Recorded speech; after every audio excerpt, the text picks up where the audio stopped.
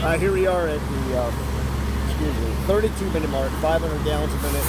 Let's take a look at what's happened. We've now transitioned over to the tractor trailer tanker, pumping the rural hitch back to the simulated engine company. These uh, tankers are coming in and they are pumping into Easton's uh, tractor trailer. They can flow it to it because there's no restriction there. They're going into that 6,000, 7,000 gallon container. He brought 6,000 gallons of water with him and uh, he can fill that tank to 7,000 and that's kind of what they're doing.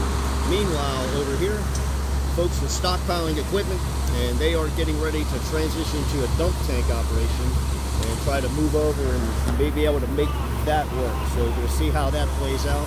Once they're up and running with that, then we are uh, going to make that transition. all the way off. First tanker made it back at about the 28 minute mark. They went to the irrigation pump uh, to get that water, and now they're back.